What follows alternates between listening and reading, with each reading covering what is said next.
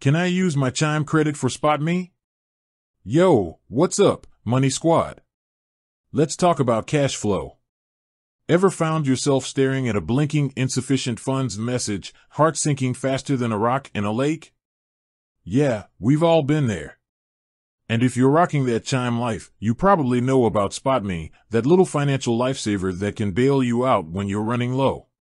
But here's the burning question. Can you use your Chime credit card for SpotMe? Let's break it down. First off, SpotMe is basically Chime's fancy way of saying we got your back. It's like a small overdraft protection, but without those pesky fees. You get a certain amount of cash to cover those unexpected expenses, and you pay it back when your next paycheck hits. Pretty sweet, right? Now, here's where it gets a little tricky. While you can definitely use your Chime debit card for SpotMe, the credit card is a different story. Think of it like this. Your debit card is directly linked to your checking account, so SpotMe can step in and cover those overdrafts. But your credit card is a separate line of credit, working on its own little financial playground.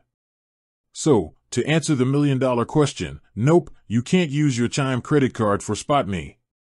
They're two different financial tools with their own unique purposes.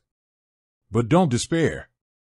Your Chime credit card is still a financial MVP in its own right. It can help you build credit, earn rewards, and make purchases without dipping into your checking account. It's like having a trusty sidekick for your financial journey. So, how can you make the most of both your Chime debit and credit cards? It's all about balance. Use your debit card for everyday spending and rely on SpotMe for those unexpected emergencies. Your credit card can be your go-to for bigger purchases or when you want to earn rewards.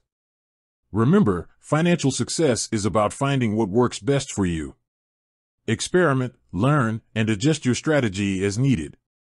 And hey, if you ever find yourself in a financial pickle, don't be afraid to reach out for help.